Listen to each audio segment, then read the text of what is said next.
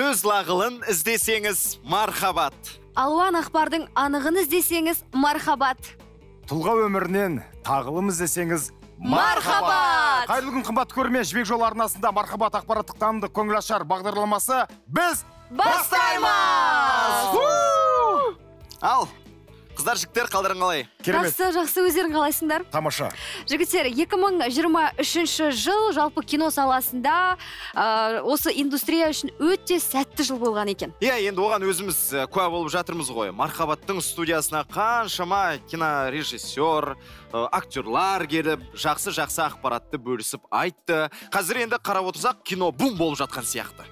Иә енді өткен 2023 жылы отандық ә, 70 фильм жарыққа шықса соның елу алтысы комедия екен О. себебі осы жанрға қазір сұраныс өте жоғары Мгм. Ә, әріптестер дұрыс айтасыңдар негізі ә, мархабат бағдарламасының көрермендері біздің сүйікті көрермендеріміз біліп отырған шығар. Өйткені елімізде болып жатқан сериалдар болсын толықметражды фильмдер болсын соның басы қасында жүрген қонақтардың көбісі бізде қонақта болады. Аха. Ә, сериалдың ә, фильмнің тұсауын кесіп жатамыз. Иә. негізі бұл кино жалпы сериал бұл ә, үлкен тәрбиелік мәні бар идеологиялық құрал. Әрине. Елімізде соңғы жылдары толықметражды фильмдердің саны ә, күн санап өсіп келе жатыр. Оның үстіне картиналары бір бірінен қалыспайды. Негізі әр фильмнің әр сериалдың өзінің көрермендері өзінің тыңдармандары болары ақиқат.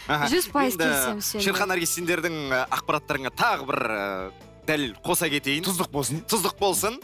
Биыл елімізде дейді 19 картинаның өндірісі бастап алған екен.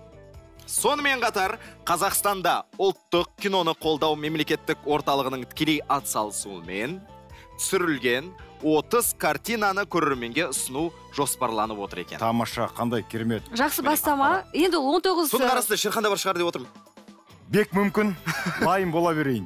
Негізі мен шерханды комедиядан көрмеппін. Мен жақында ғана сені бір комедиядан көрген сияқтымын. Бірақ ол жерден сенің образың бәрібір кішкене бір ә, сол бұзық өзіңнің мінезіңе сәйкестеу ішкі сияқты. жан дүниеме сәйкес жан дүниеңе негізі әріптестер сендерге қандай шерхан жанр бұзық ұнайды деп айтқаным қалай Э, маған комедия ұнайды.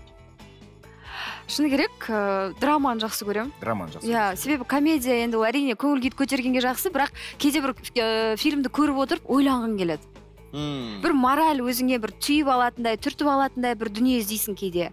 Кейде бір актерлардың мінезінен өзіңнің бойыңдағы бір мінезді тауып алатын көріп қалатын сәттер болады. Тамаша негізі бар ғой мен сендерге бір сұрақ қояйын. Егер сендер ыыы наргиз сен актриса болсаң сен жандәурен актер болсаң қандай кейіпкерді сомдағың келетін еді. Мен енді аты әлемге әйгілі джим керриді өзім қатты жақсы көремін және сондай ақ джонни деп та.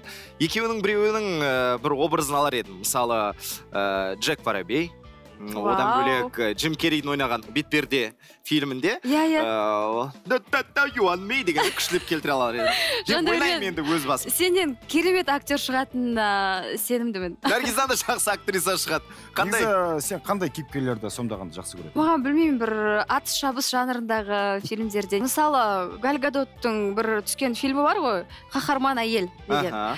Сол жақтағы образ өзіме бір білмеймін сондай фильмге түскім келеді. Мархабат бағдарламасын тамашалап отырған ә, продюсерлер ә, режиссерлер құлақтарыңызға алтын сырға алдарыңызда сақадай дайын талантты жандар міне. Ә, негізі кез келген образға сай келеді. Наргиз жаңа айтты ғой атыс шабыс киноларға түскім келеді деп. Енді наргиз басында ха! деп шыққан кезде наргиз бірден атып кететін сияқты.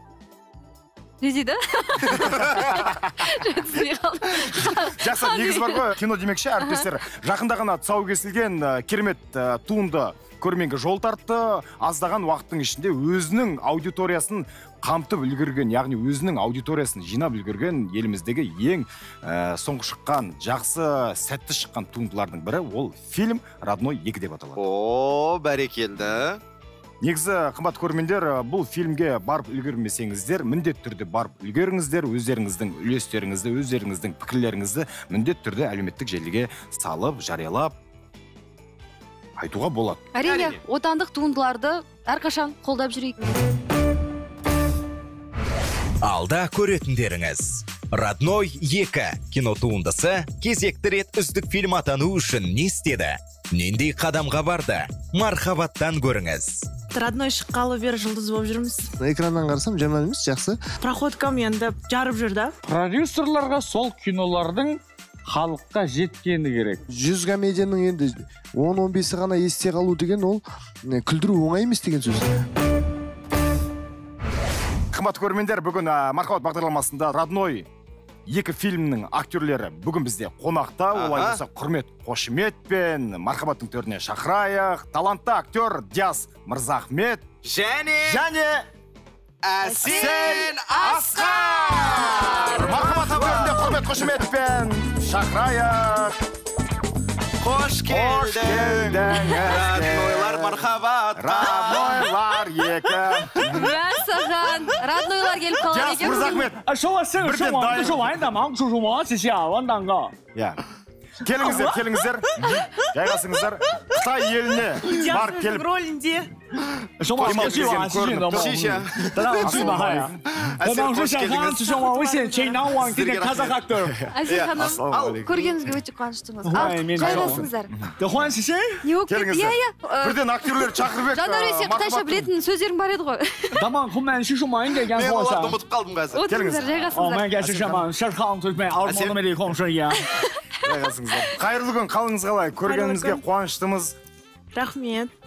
шақыртуларыңызға рахмет көп әсел жаңа сіз ә, диас образда болған кезде бір ә, таңғалып бүйтіп үнсіз қалып қалдыңыз. Неге өйттіңіз? Оның сыры неде? Оның ол сыры құпиясы неде? сыртында тұрған кезде сен қуып ал қуып ал мен кіріп алайын потом қуамын деді. Ал енді жаңа қазір әсел ханым не істейді? Қуады. Әсел негізі ә, өмірде сондай бір ә, сыпайы инабатты Еркін. сондай бір нәзік. Ашық еркін. Мінезі жайдары. Негізі мен әселді ә, тікелей танымаймын. Тек қана мен енді жаз оқырман ретінде жаңағы инстаграмнан блогер көремін. ретінде. Иә иә блогер ретінде танимын. Ал сіз жаңағы ашық жарқын дедіңіз иә? Енді мен де әлеуметтік желіден жиі қарап отырамын. Оның үстіне родной екі фильм көріп тамашалап қайттым мен негізі. Әсел ханым ашық жарқын еркін кісі ғой. Ә, фильм ұнады ма саған шерхан? Ұнады көңілімнен родной екі.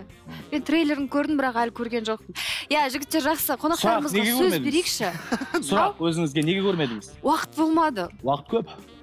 Родной екі қазіргі таңда таңертең сағат тоғыздан бастап түнгі сағат екіге дейін үшке дейін болады сол себептен уақытыңызды бөліңіз қарындас. Иә негізі әріптестер ә, бүгін бізде қонақта роднойлар келіп отыр. Иә. роднойлардың жағдайын білейік. Қандай жаңалық бар екен шығармашылықтарында қандай өзгерістер бар? Родной шыққалы бері жұлдыз болып жүрміз. Аха. Ана проходкам кинодағы бар ғой. Аха. көресіздер енді сіздер барсаңыздар.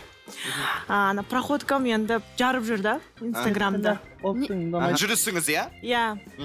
Ол жердегі сомдаған образыңыз қандай? Қалай келдіңіз кастингке? Шақырту қалай болды? Кімнен болды? Гонорар қалай болды? Жалпы еламан маған звондады. Мен еламанды танымаймын. Аха. Жазда звондады. Сосын маған айтты сізді родной екі деген фильмге шақырсам бола ма деді қасымда қызым отыр деді қалыңдығым. Сол сізді оқиды екен деді. А, сіздің оқырманыңыз ол маған сіздің парақшаңызды көрсетті деді. Мхм. сосын мен қуанып кеттім. А, пробаға келіңіз деді. Пробаға келер алдында мен айттым маған бірінші частьін жіберші мен өкінішке орай көре алмадым дедім. Көріп алдым. Екі сағаттан кейін сразу звондағаннан кейін уже көріп қойдыңыз ба? Қалай деді? Иә маған өте қатты ұнады. Прям үзбей қарадым да. Жатып алып қарадым. Бұл рас оқиға ма әлде бұл ә, жаңағы қазір режиссерді продюсерді иә. жоқ он, менде ондай мінезім жоқ. Айтып тұрмын ғой гонорар аз болды. Деп айтып тұрмын ғой. Жарты жыл бойы күштілеп тұрып парақшамда жарнамалап келдім. Енді ә, еламан маған өзі адам ретінде ұнайды. Өте жақсы адам. Рольді ойнайды ғой. Вот сондай адам ол өмірде де. Ұнайды да маған. Көзі мөлдіреп тұрады. А, сосын а, этот пробаға келдім. Пробаға түскеннен кейін сосын өттім ғой. Ал диас сіз сізден не талап етті. мен осы күнге дейін енді шәкең біледі ғой. Шәкеңдермен 2017 жылдары бірге алматы қаласына армандап осыға келіп бірге өн- өнерімізді қазақ еліне паш етеміз дәлелдейміз деп келгенбіз. Аха. Сөйтіп жүрген кезде шәкең де мен де қалыспай кастингке шақырмаса да бірге бара бердік бара бердік бара бердік. Түбінде соның енді халықтың алдында қазір өзіңіз де батасын алып жатсыз көріп жатсыз ғой сол сияқты нәрсе ғой. Бір мынандай бір жағдай болды. Ерболат әлқожа деген бір актер бар білетін шығарсыздар иә. Білесіздер ғой иә ерболат Иә, а сакедегі ше анау дей беретін а иә иә сол ғой короче сол кісі туған күні болды сол кісінің туған күнінде еламанмен көрісіп қаламыз сол ыыы, еламанмен былай былай таныспыз да бірақ аралас емеспіз соның туған күніне маған айтты бірінші сезон түсірейін деп жатырмын деді осы родной екі бірдің мен айттым е сәттілік осындай осындай қандай кім не ойнап жатыр кезде осындай индира деген актрисаны қарап отырмын осындай осындай. Е мына актрисаны қарап е брат мынау жақсы мынау жақсы осы жақсы. Еще мен жақтан да өзіңдегі білесің ғой мен жақтан да көмек болса біз өнерде сатылмайды білесіз. Қолдаймыз давай баста дедім да егер біз жақтан көмек болса шақыр дедім. Бітті. Сонымен біткен әңгіме болатын бір уақытта бірінші сериясын түсіріп тастады. Сізді шақырмады. Ау. Бірінші маусымнан сізді шақырмады. Неғып ол жақта төрт главный герой ғой мен не істеймін жоқ жалпы жасно родной екіде кімді сомдадың образың қандай болды? Соны соған келе жатырмын да. Сонымен біріншісін сөйтіп түсіріп тастады содан кейін премьерадан кейін жағдай болды мен айттым брат түсіремін деп жатты да давай екі болса тағы да келемін дедім. Мен жақтан жетіп жатса давай дедім да. И бір уақытта родной екінің ә, түсірілімі басталар алдында маған эля звондады. Ә, досым осындай жағдай болып жатыр саған бір роль бөлініп тұр.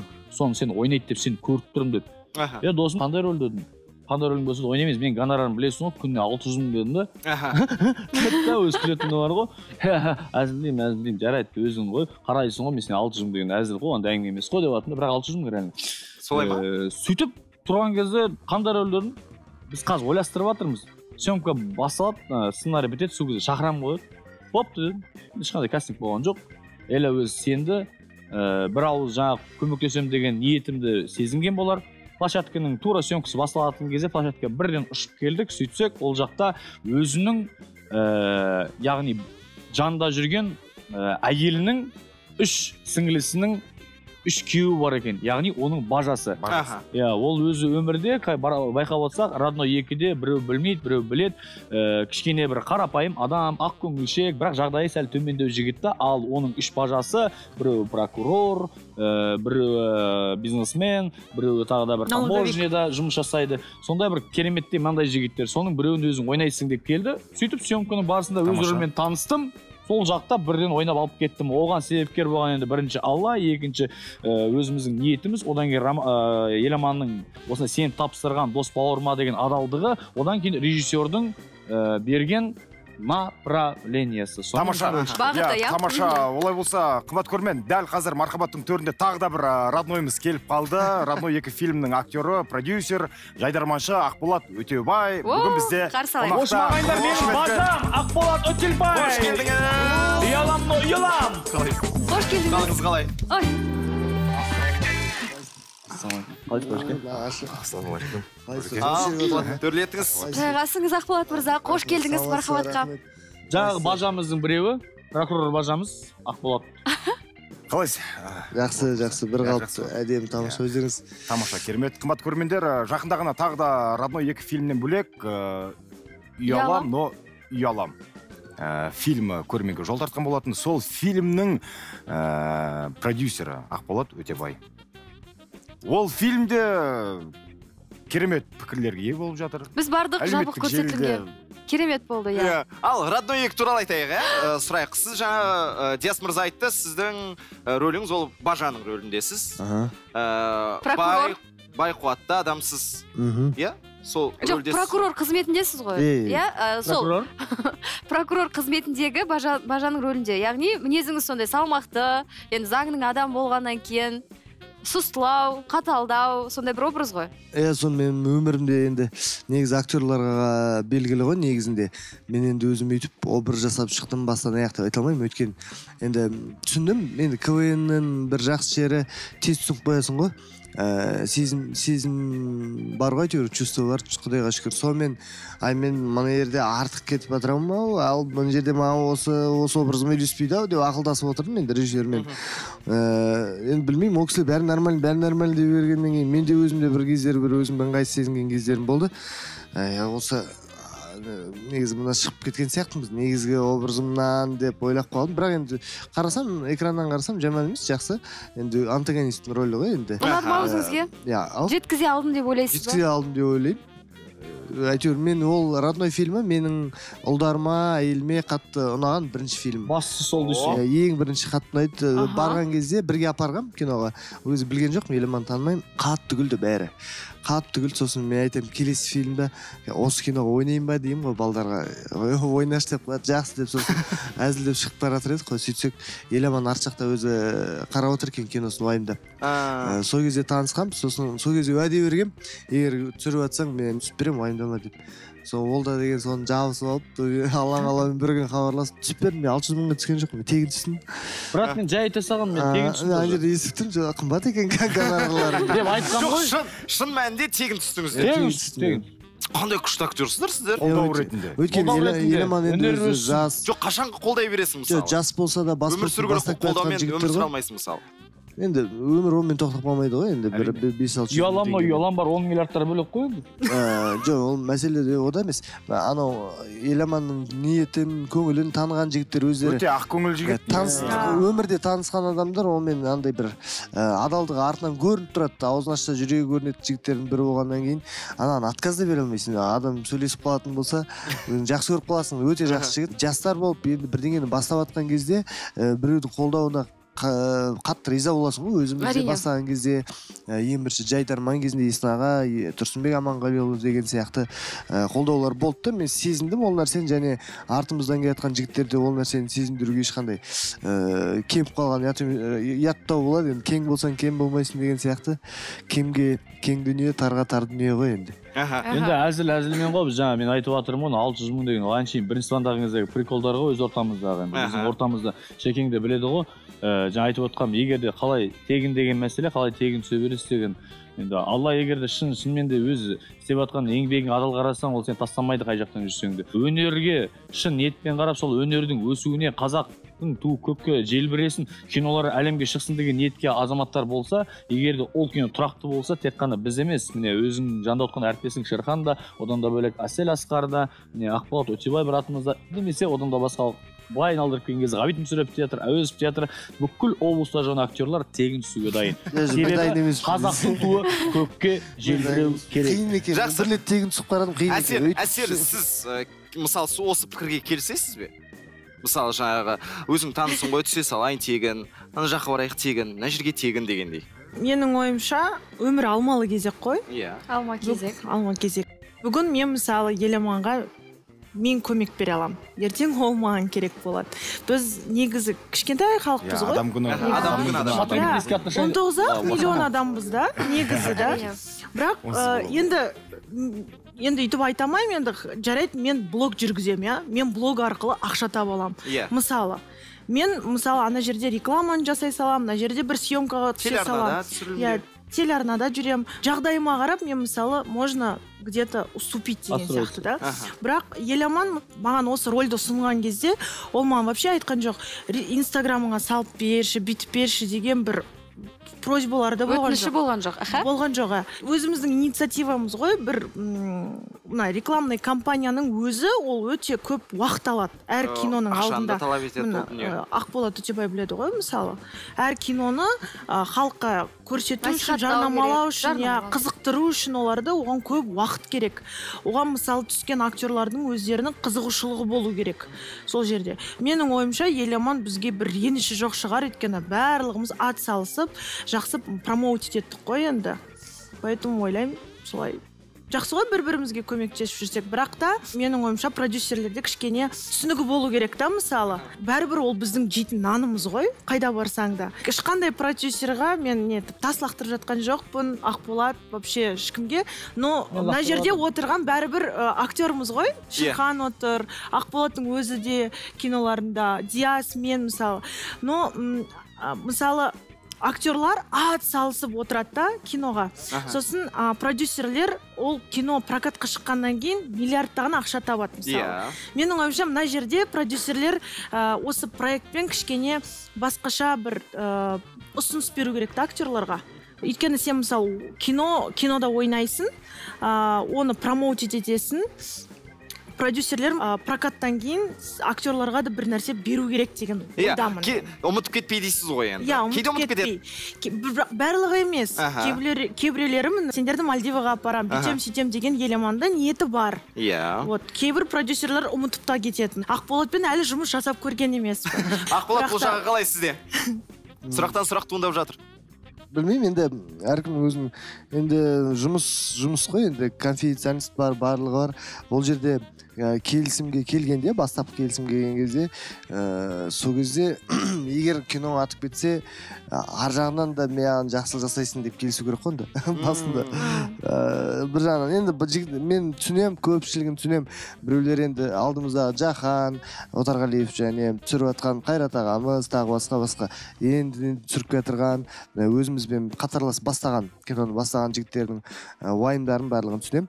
Менде өзімде көңілің сайрап тұрады ғой енді. Көңілің сайрап тұрады айналаңдағы адамның барлығы сенен пайда көрсе екен деген сияқты.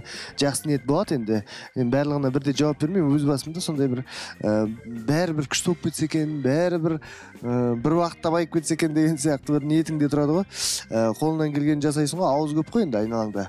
Ә, білмеймін енді ол жағы қалай екенін енді бірақ бергеннен бергенде тұрған ештеңе жоқ. Енді егер соған лайық болып тұрса жұмыс соған лайық болып тұрса неге бермеске бірақ енді ә, мынандай нәрсе бар. Момент бар. Продюсирование жұмыс жасау ақша табу ойнау оның ішінде тағы басқа. Сондай уайымдардың арасында жүріп ә, бір төрт бес съемочный күнге келіп кетіп сосын мен бүйтуім керек мен сөйтуім керек дегенде болмайды ғой. Кей кезде мен ойлаймын солай. Ал енді шынымен де кино сол арқылы атқан болатын болса сол баланың ниетіне сол баланың бір андай шынайылығына площадкада жүрген ниетіне сондай бір ә, не болатын болса онда міндетті түрде ә, жақсы ғой арқасынан қағып артынан жұмысының өзінің жұмысын жақсы көру үшін жақсы ниетте. Еламанның да мен ойлаймын енді уәдесіне тұрады деп өйткені жақсы кетіп жатыр киносы. Мальдивыйға барамыз дейсіз ғой енді. Барасыздар. Иә мен мына жерде тағы бір нәрсе қоса кетейінші бір ой келіп тұр да маған аха негізі бар ғой біз азбыз ғой мысалы өнер адамы жүрген бір, бір тусовкада иә бәрі бір бірін Иә, таниды бәрі бір бірін таниды бәрі алматы немесе астанада. Енді ә, сұрайын дегенім вообще айтайын дегенім ә, почему бір біріміздің мысалы проекттерімізді қолдамаймыз деймін да? Жобаларын наоборот бізде сынап кетеді да? Ой мынау мынандай деп не э, кейбір блогерлер де э, бір киноға бір мынандай бір жаман сынақ жазады да ой мына жері мынандай емес мына жері мынандай емес енді сен ә, құдайға шүкір рахмет деу керек да қолдау керек. Жоқ, оған жетемін сондай деңгейге дейін да мен? сөз бар ғой ауруын жасырған иә? өледі деген дүние бар. Енді қашан біз ойбай күшті күшті күшті дей берсек ол жерде кез келген нәрсені түсіре беру де мүмкін ғой. сын болса бәсекелестік болады одан кейін нәтиже болады деген сияқты ғой. Бірақ бір жағынан әрине осылай фильмдердің түсіріліп жатқаны ол өте жақсы. Негізі 2023 жылы ақболат мырза жетпіске жуық отандық фильмдер түсірілген екен. Соның елу алтысы комедия. Сіздерге бір жауыр болып кеткен бір сұрақ шығар енді. Неге комедия неге? өзім психолог кинотолог ретінде сізге жауап сізден былай жағдай өтіп жатыр күндер өтіп жатыр. Шәке өзіңіз бастаған енді бұл жақта әсел дос айтып жатыр. Әкеңдер екеуі соған қосыламын. Сұрақтарыңыз орынды орынды. Бірақ бұл шоу ғой. Шоу. Шоу деген ол бәріңізге белгілі өмір. Өмірде бірінші өнер адамға не керек? Нағыз өнер адамға. Жақсы. Ішіндегі өнері керек.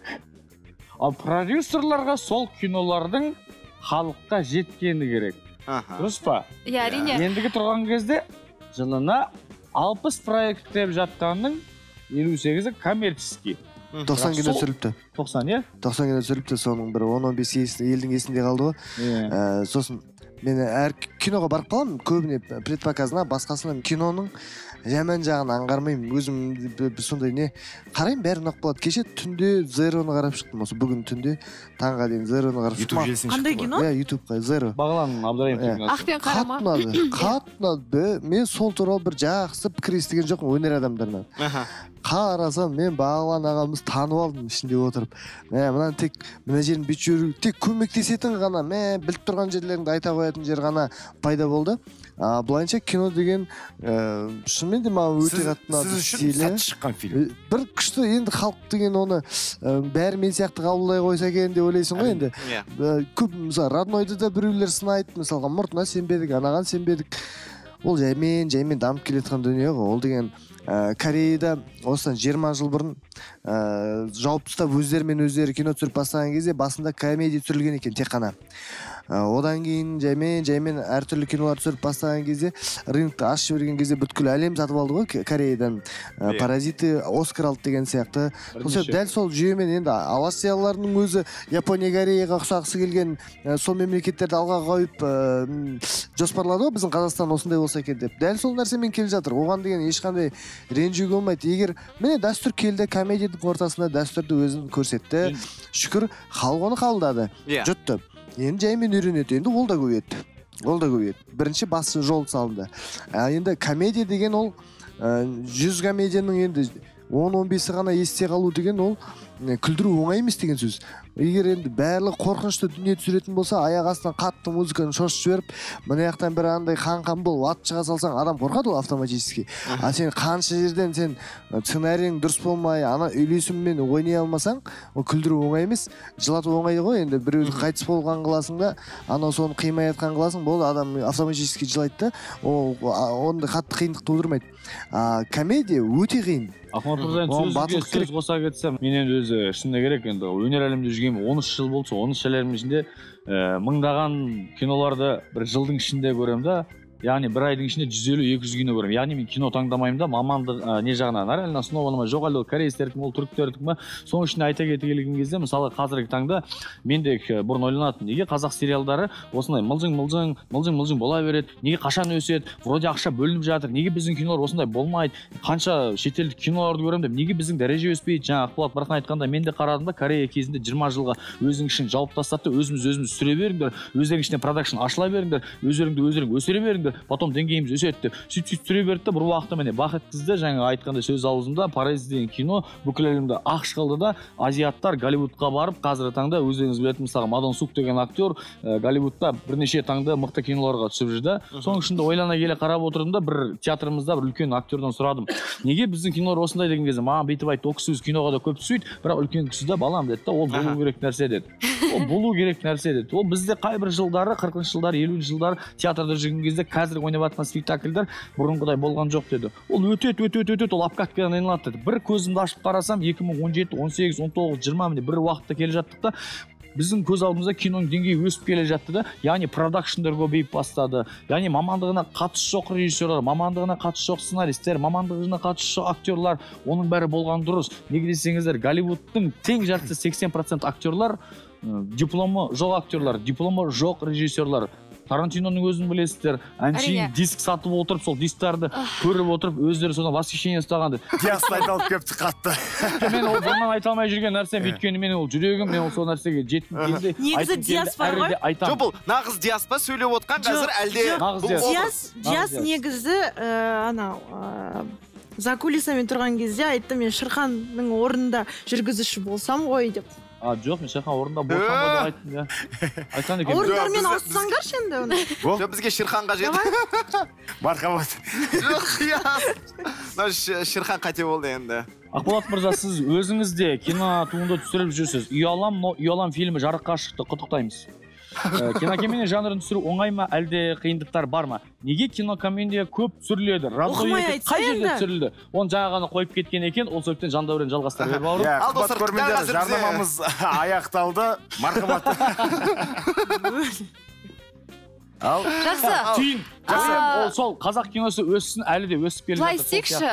Тағы бір сұрақ қойғым келіп отыр. Ә, негізі кез келген фильм ә, тіпті жаңағы сіз ақболат мырза өткенде өзіңіздің фильміңізде де бір мораль бар иә? Сіз халыққа жалпы ә, көрерменге бір нәрсе жеткізгіңіз келеді. Кез келген кино түсірген кезде мақсат сол ғой. Енді коммерциядан бөлек әрине. Родной екі фильмінің мақсаты қандай? Не бергілеріңіз Айтар келеді? ойы не түсіндіргілеріңіз келеді?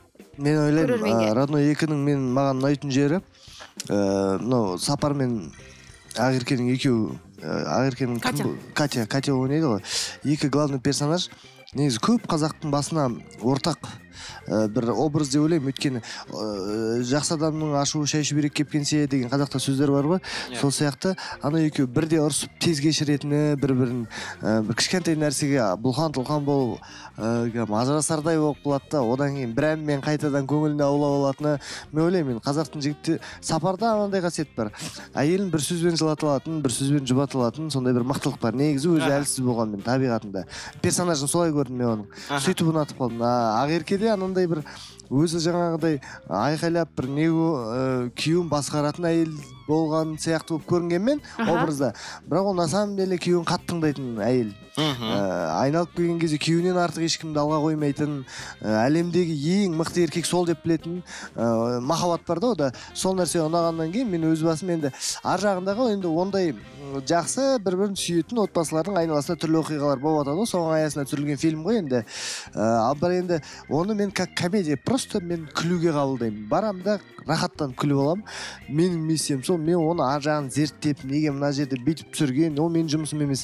Мен көрермендердің орындығына отырдым да көрермен болып күліп тастаймын күлетін жеріне. Болды сөйтіп қабылдау керек деп ойлаймын. Ары қарай өмірді қиындатып оны зерттеп мына жер былай болған екен. Ол жаймен түзелетін заттар ғой әселден сұрайықшы әсел жаңағы өзінің кейіпкерінің тек қана жүрісін ғана айттыңыз. Мхм. басқа бір қандай образ екен ол? Э, жа- тек қана жүріп кетіп қалатын образ ба? Әлде қандай кейіпкер? М, негізі мен ә, бұл кинода м, ақболат менің жездем болып тұр ғой иә? Жездем ғой? Катя менің әпкем. Ғой. сол ақ ә, Балдыз, жездемнің сіз катяның сіңлісі ме иә сонда? сің- сіңлісімін. Бөлемін ғой бөлемін ғой бөлемін. А бөлес аха. катяның сонда тағы үш сіңлісі бар. Аха. А Ә, сол бір сіңлісінің күйеуі болып тұр ғой. Мен бөлесі болып тұрмын. Аха. Енді мен ақболатқа сол кинода жабысып жүрмін ғой. Еркек құмар сондай. Яғни балдыз екі рет ажырасқан. Құдай ай. Жақсы енді әсел ханым диас ақболат қожекем тек қана шығармашылық табыстар кино картиналар көп болсын. Тек қана берекелі мерекелі күндерде қауышқанша кездескенше. Иә енді құрметті қонақтар сіздердің ә, бір мархабаттың көрермендеріне бір бір ауыз тілек болса. Жалпы кино көріңіздер баршаңыз жақсы кино көріңіздер. Кино мәдениетін қалыптастырайық елімізде. Ә, жақсы жақсы дүниелерді посылдарды біздер бере берейік. Сіздер біздерге бағамызды беріп сын түзелмей мін түзелмейді. Сынды есті әдемі етіп жеткізе алған мақтамен бауыздап айту керек қой негізі. Ә, жаңағы кінәламай жамандық тілемей ешкімге. Ә, сондай бір жақсы жақсы сын пікірлер халық солай қолдаса ә, біздің қазақ киносы дамиды өсейік өнейік бір бірімізге жақсы мессендждер тасайық. Біз өнер адамдары болып сіздерге ә, ертерек түсініп қойған енді қазақстанға кіріп жатқан білімдерді білеміз ғой енді. Сол жерді көріп тұрып анализ жасап сіздерге жібере берейік. Сіздер соны көріп а мыналар мынаны айтқысы келген екен ғой деген нәрсені қабылдай берсеңіздер біздер шабытымыз ашыла береді жасай берейік. Аман болайық бәріміз. Тамаша. Құрметті көрермен негізі күнделікті жаңалықты қарап отырсаң өңкей қайғылы сондай ә, қорқынышты жаңалықтар оқимыз естіп жатырмыз. А, енді ә, біздің ә, продюсерлер режиссерлер осындай күшті кинолар түсіріп жатыр комедияға бәрі. Ә, жынданады да неге комедия түсіре бересіздер деп. Ә, оған қуану керек. Ә, күнделікті осындай ә, қайғылы жаңалықтардың арасында күліп те жүрейік. Сондай оймен түсіріледі негізі бұндай кинолар. А, отандық киномызды әрқашанда қолдап жүреміз. Рахмет. Диас мырза сізден диас мырза менің айтарым ол әрине былай. Таңертең тұрған кезде ұйқыдан тұра салысымен тик ток инстаграм қарап өздеріңіздің настроениеңізді жаңа әсел айтқандай қайғылы жаңалықтар көрмеу одан да жұмысыңыз біткеннен кешкісін қазақ киносы қазір өсіп жатыр соны қолдап кинотеатрларға барып қар, қай кино болса да ақшаңызды аямай қайда кет, келіп кетпей жатқан екі мың үш мың теңге дейсіз. Лучше қазақ киносының өнері өссін деп сол жаққа барып өз көңілдеріңізді де көтеріп отбасыңызбен бірге жанұяңызбен бірге сол қазақ өнерінің өсуіне үлесіңізді қоса беруіңізді тілеймін. Алтындай уақыттарыңызды бөліп рахмет. келгендеріңізге көп көп рахмет. Супер келін диана атымен танылған блогер келін келді студияға.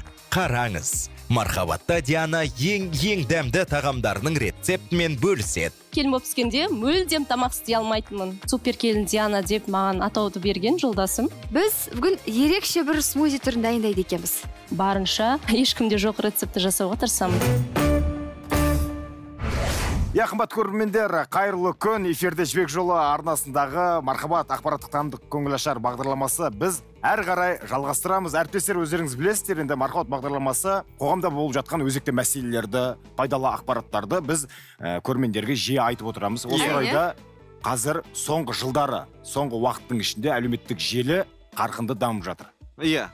Оның ә, бір себебі енді барлығымызда гаджеттер бар ұялы телефон қолымыз босай қалса сол енді әлеуметтік желіде отырамыз. Және сол әлеуметтік желі арқылы ә, көп ақша табуға болады. Әрине. Жігіттер жалпы сараптамалық платформалардың дерегі бойынша қазақстанда әлеуметтік желілерді пайдаланушылардың саны 70 пайыздан асады екен. Аха. және олардың басым бөлігі әйелдер қауымы. Әйелдер қауымы. Әйелдер қауымы. Яғни әлеуметтік желіде басым көпшілігі сіздер отырасыздар иә иә біз отырамыз. Э, себебі әлеуметтік желінің енді э, зиянды тұстары да бар. Бірақ э, өзің ішінен сараптай білсең э, дұрыс ақпаратты таңдай білсең пайдалы да дүниелерді үйренуге болады. Аха. Мысалы Яғни- ол жақта неше түрлі марафондар өтеді арықтауға болады ә, кейбір диетолог мамандар өздерінің тегін ә, жаңағы смузи жасап немесе тегін пп ә, рецепттермен бөлісуі мүмкін. Сонымен енді келесі мархабаттың қонағын ә, шақыруға дайынмын. Аха. Әлеуметтік желіде ә, 229 мыңнан астам оқырманы бар фудблогер диана есенбекова бізге қонаққа келіп отыр екен. Яғни Ше, қошеметпен қарсы алайық. Иә яғни әлеуметтік желіні табыс көзіне айналдырған. Ал тамаша. құрметті көрермендер сәлеметсіз ханым, қош келдіңіз. Супер келін дейді сізді. Солай ма? шүкір жақсы. Иә. өзіңіз Жасап келдім өзіммен бірге. Мәссаған. ауыз тиіңіздер Бірден ас бөлмесіне, ас бөлмесіне өтейік. өтсек бірден бізге келе салысымен өзінің мынау қолынан. Иә өзіңіз дайындадыңыз ғой иә Иә, өзім қонаққа дайындадым. десімен мынау келін мантыны негізі әдейі өзім алдым себебі жігіттерге сенбеймін қазір жеп қоюым мүмкін. Ал ал. Диана ханым? Мен дәмін көрсем бола ма? Болады әрине. Жаман қарап дәл қазір негізі әріптестер ә, мархабат бағдарламасын көріп отырған түскі ас ішіп отырған ә, көрермендердің арасында да манты ә, тамағын жеп отырған болуы мүмкін. Ас болсын дейміз? Ә, жандәурен саған да ас болсын? Дәмді ма жандәурен осы тамақ көрсе иіс алатын. Иісінің өзі өте керемет екен. Енді ә, шыны керек. Қазір көктем мезгілі ғой. Жалпы енді ә, көктемде қыз келіншектер салмақ тастағысы келеді. Сондай бір мәселе қатты алаңдатуы мүмкін. Сол үшін иә мереке жақындап келе жатыр деген сияқты. Сол үшін мен мантыны жемей ақ қояйын мен жандәурен жаңа жеді иісінің өзіне разы болып иә осы жерде тойып тұра берейін. Жақсы. Негізі иә негізі жандәурен бар ғой. Осы қыз келіншектердің арасында артық салмақтан арылу керек құтылу керек деп жатады. Осы орайда бірден әңгіменің ә, басын Аха. артық салмақтан бастады. Демек біз ә, әріптестерімізге кедергі келтірмей өзіміздің құтты орнымызға жайғасайық иә яғни бізде артық салмаққа деген бір проблема жоқ қой екеумізде. Жоқ. Наргиз сәттілік. Сендерге қызығып тұрмын негізі. Есесіне біз екеуміз қазір мархабаттың көрермендеріне бір ерекше смузидің рецептін ұсынғымыз келіп тұр. Ә, барлық азық түлік ә, түрлері арнайы алынған. Біз бүгін ерекше бір смузи түрін дайындайды екенбіз. Қалай Иә. аталады? Ә, бразилияның ең сүйікті лимонады бұл. Ә, бұл жерде көп зат қажет емес ә, лайм және қойытылған сүт су қажет болса болғаны. Аха ең бірінші иә. лаймды сіз жасай беріңіз мен сізге сұрақтар қойып жаңағы. Сізбен жақынырақ танысқым келіп тұр. Қойытылған сүт негізі диана ханым ә, майлылығы жоғары тағам түріне жатады. Солай Иә, ғой. иә. диета ұстайтын жандарға кеңес бермеймін ішуге ал ондай адамдар мысалы салмақ тастағысы келетін оны басқа бір азық түлік түрімен мүмкін алмастыруға болатын шығар. Ә, сүт қосса Сүт болады ана кокос төмен. кокос аха немесе бар миндаль иә, бадам сүті бар иә? Иә, көп. соларды қосса болады. Немесе ә, сүт қоспай ақ сумен араластырып жасаса болады бал қосып. Бал қосып. Иә мысалы коктейльдер бар ғой диетаға арналған. Лимон қосып жіберсе болады мята кейбіреулер огурцы қосады мысалы. Ә, вот солар арықтататын нағыз сусындар. Енді ә, бұл бразильский лимонад дегеніміз лайм қосады. Бұл жерде қышқылдау бұл болады лимонад қатты тәтті болмайды. Аха. ә, солай. Диана ханым ә, әлеуметтік желіде 229 мыңға жуық оқырманыңыз бар екен. Иә. Қай жылы ашылды парақшаңыз? Өзіңіз жүргізесіз бе? Өзім жүргіземін. Ә, қанша уақытыңызды алады? Сосын жаңа ә, айтып қалдық енді қазір әлеуметтік желі арқылы көптеген жандар табыс тауып отыр. Сізде бар ма сондай ақша келіп жатыр ма инстаграм арқылы? Иә иә әрине. Жоқ әлде өзіңіз үшін бір хобби ме бұл арасында? Негізі- бос уақытыңызда айналысатын? Негізі басында үйде отырғаннан кейін декретте бір іш пысады ғой. Мхм сол кезде енді ә, маған өзіме бір блог арнағым келді. Өзім негізі смм мамандығы болып жұмыс жасайтын үйде отырсам да? Солай табыс табатын кейін өзім ойланып өзім видео түсіру білемін өзім инстаграм жүргізе аламын. Неге өзім а, блог жүргізбеске қолымнан мысалы не келеді менің? Сол кезде ойландым тамақ жасай аламын. Соны жайлап түсіріп бастадым кейін. Аха. Лаймды алып иә. әдемілеп турап аха. Сөйтіп блендерге салып енді қазір бір ез қазір э, су құйып жібереміз иә. үгітіп аламыз иә. Диана наргиз бұл не ә, қабығын ашмай ма лаймның а жоқ жоқ жоқ лаймды ең алдымен жуып алады. Одан кейін сыртымен жасайды. Қазір үкіш болса не дейді? Сүзгі болса? Сүзгі? Иә сүзгімен жақсылап. Ойбай. Керек емес жерлерін алып тастаймыз.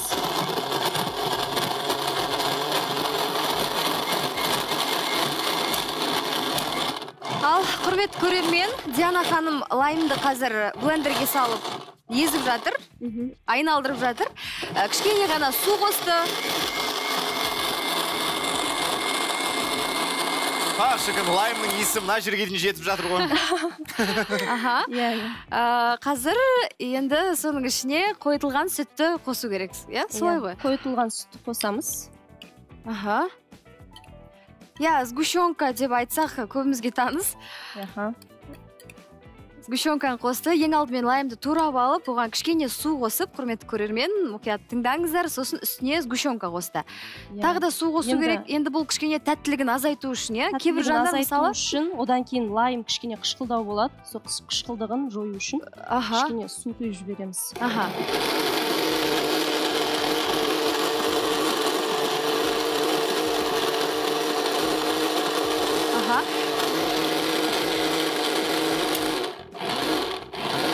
Диана ханым түсі де өте әдемі екен жаңа тәбетті ашады енді мархабаттың қыз келіншектеріне қазір біз тамашалап отырған экранның ар жағынан өзіңіз түсіндіріп айтсаңыз болады. Мұны ә, бұл смузиді қай кезде ішу керек? Мүмкін Бұл- таңертең бе әлде тамақтан кейін бе жатар алдында дегендей. Түсіндіріп айтып беріңіз өзіңіз бұл толығырақ смузиді бір ы, таңертең кешке ішу керек деген ондай бір қағида жоқ. Бұл лимонад. Ә, яғни күн қазір жылып келе жатыр енді. Аха.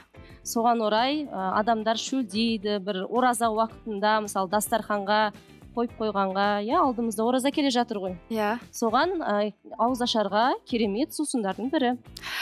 Диана ханым ерекше екен енді дәмін татып көргім келіп тұр.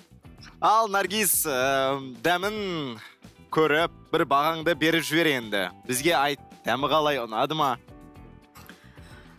Ал құрметті көрермен мінекей смузи дайын. Енді дәмі қандай екен наргиз? Өте дәмді. Дәмді шынымен дәмі ерекше екен. Мен ә, смузидің әр түрін білемін. Бізге мархабатқа қонаққа келген мамандар сіз сияқты осылай фудблогерлер ә, неше түрлі жаңа рецепттермен бөлісіп көрермендерге айтып жатады. Енді үйде оның арасында бір екеуін жаттап алғанымды өзім де жасап тұтынып пайдалануға тырысамын. Бірақ мынадай смузиді шыны керек бүгін бірінші рет ішіп тұрмын. Диана ханым рахмет. Тамаша. Өте керемет. Дәмі де ерекше екен. Сөзін шыны керек бізге келген қонақтардың барлығын енді ә, құрмет қошеметпен қарсы аламыз ғой. Бірақ өзіңіз бүгін керемет образбен келдіңіз. Оның үстіне өзіңіздің дайындап келген өзіңіздің қолыңыздан ә, ә, пісірілген мантыңызбен келдіңіз. Бұның өзі үлкен бір қалай айтсам болады енді ілтипаттың ілтипат белгісі қой негізі. Әрине. Бұл лебіз ішкі мәдениет. Бұл сіз иә. әлеуметтік желіде осылай жүргізесіз ғой сонда иә? Иә әрине өзім көбінесе оқырмандарым қолжетімді бағадағы және ерекше тағам рецепттеріне үйреніп қалған. Өзім оқырмандарым содан кейін барынша ешкімде жоқ рецептті жасауға тырысамын. Әлеуметтік желіге кірмей кетсеңіз оқырмандарыңыз жазатын шығар. Диана Иә. ханым қайда кеттіңіз? Бүгін қандай тамақ дайындаймыз деген секілді сұрақтарды жіберіп жататын шығар. Әрине сұрап жатады одан бөлек ә, мысалы көшеде көріп қалып жатса да айтады сізге рахмет сіздің ә, тағамдарыңызды жасап жүрміз мысалы кешке қарай не тамақ жасаймын деп ойланып отырған кезде сіздің страницаңызға кіреміз да сол жерден бір тағамды алып жасай саламыз ұқсап шығады бір жасағанда деп алғыстарын білдіріп жатады. Мхм. Ә, диана ханым көбіне біздің қыз келіншектер ә, қандай тағамдарды жасайды? Көбірек жасайды. Сізде рецептін сұрайды мысалы. Мысалы ә, біз өзі ауылға барған кезде мысалы ата енемізден бөлек тұрамыз да. Ол кісілер қандай тамақ жақсы көреді? Осындай бешбармақ манты пельмен иә сондай тұшпара сондай тағамдарды қатты жақсы көреді ол кісілер. Аха. Ол кісілерге бұндай смузи жасап берсең іше қоймайды. Пицца жасап берсең де оны онша жей қоймайды да ол кісілер. Ал өзіміз мысалы қалада бала шағамен үйде жасағанда көбінесе пицца осындай коктейль сондай тағамдар жасаймын мысалы. Соларды қуанып жеп алады. Диана ханым сіз ә, әлеуметтік ә, желіде ең алғаш рет сіз парақшаны ашқан кезде өзіңізді ә, бір супер келін ретінде таныстырған екенсіз алдымен. Иә. Ол бір сондай ә, өзіңді бір танымал етудің жолы ма образ ба? Әлде үйде де осындай осылай жүресіз бе? А, негізі супер келін диана деп маған атауды берген жолдасым.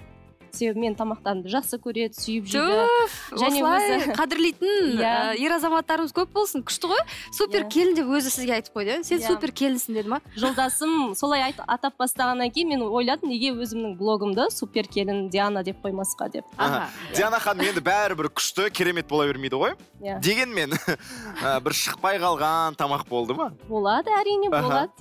Қай тағам? Мен енді шықпай қойды мүлдем. Мен басында келін болып түскенде мүлдем тамақ істей алмайтынмын. Қойыңыз. Иә шын. Аха. Тек қана сорпаны қайнату білем макарон қуыру білем одан басқа ешқандай тамақ білмейтінмін қамыр жаюды да білмейтінмін. Сөйтіп? А, менің жолдасым өзі кухняға жақын адам. А. А, одан кейін енем үйретті ауылға барған кезде одан бөлек жолдасымның өзі кухняға жақын адам болғандықтан а, осылай жаса мына тұзын былай сал деген сияқты сондай айтып отыратын яғни жолдасыңыздың көмегі арқылы осы бір істі бастадыңыз. Әрине мен басында супер келін бола салған жоқпын ғой. Мені супер келін қылған менің жолдасым. Есімі? Қуаныш. Қуаныш қазір бізді тамашалап отырсаңыз сізге жалынды сәлем. аха. Диана ханым ә, енді шынымен де өте керемет. Бүгін сізге мархабаттың студиясына келіп көрерменмен қыз келіншектермен бізді экранның ар жағына тамашалап отырған жандармен осындай керемет рецептпен бөліскеніңіз үшін рахмет. Ә, келіп тұрыңыз. Сіздерге де рахмет. Шақырғандарыңызға. Оқырмандарыңыз көп болсын пайдалы бөлісетін дүниеңіз көп болсын инстаграмда. Рахмет. Көп рахмет жақсы жігіттер қонағымыз Сау шығарып салайық. Сөйтейік талантты актриса салтанат құдайберген 11-дей рөлге қалай түсті? Кинода қалай бағы жанды? Мархабатты тамашалаңыз. Барлығы аянбай мені әр түрлі өнерге баулыды. Ол мен үшін үлкен мәртебе. Өнер адамы шынымен де бес аспап болу керек осы екі жылда күшті күшті әндер шығардым. Тағы тағы. Атырайық таңды әр жақтан жиналыпты қыз боз бала. Біздің кино әлемі қарқынды дамып келе жатыр өте. Иә қымбатты көрермен эфирде мархабат бағдарламасы. Ал біз әрі қарай жалғастырамыз. Сонымен ә, наргиз. Иә жаңа шерхан келген ә, фудблогер диана ханымнан бірдеңе үйрене алдық па? Мархабаттың бүгінгі көрермендері диана ханымнан жақсы бір смузидің рецептін үйренген сияқты. Енді мен де жанында тұрдым ғой диана ханымның. Бірдеңе түртіп алдым енді миыма. Үйге барып қайталап жасап көруге тырысамын аха. Міндетті түрде. Міндетті түрде. Уәде беремін сендерге алып келу керек па? береміз. Жоқ оны бірден сол жерде жасап бірден ішу керек қой. Онда осы жерге әйтпесе құрамы өзгеріп кетеді смузидің. Жақсы негізі бар ғой. Алдағы уақытта бір ә, жоспарың жоқ па? Әлеуметтік желіге кіріп бір ә, фудблогер болып өзің дайындайтын ә, тәтті тағамдарды әлеуметтік желіге салып иә. халықтан бір жақсы ә, пікірлер алып дегендей ақша тауып оның үстіне әлеуметтік желі қазір табыс көзіне айналған заман. Әрине. Оның үстіне өзің күнде тағам әзірлейсің ғой. Шыны керек енді жігіттер қатты мақтанғаным емес бірақ ә, мен тағамды өте дәмді әзірлеймін. Оның ішінде ә, ыстық та- тағамдардан бөлек ә, бәліш бауырсақ ә, одан кейін түрлі мысалы печенье деген сияқты. Иә пирогтар соның бәрі қолымнан келеді. Тәтті тоқаштар пісіру тәтті тоқаштар бәрін пісіре аламын. Тек бар уақыт ғой. таба алмаймын.